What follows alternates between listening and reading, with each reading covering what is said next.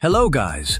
Today I'm going to show you the brand new Bloxfruit script that work very well in all devices. To get the script, open browser and search for scriptbloxfruit.pro. This website hosting many Bloxfruit script you can use in your gameplay. Here is the list of all Bloxfruit script. You can choose any script you want. I'm going to use this one that is Xeter Hub script.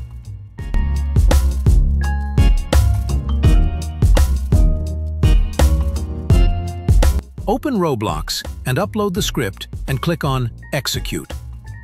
So guys, as you can see, our script is working very well.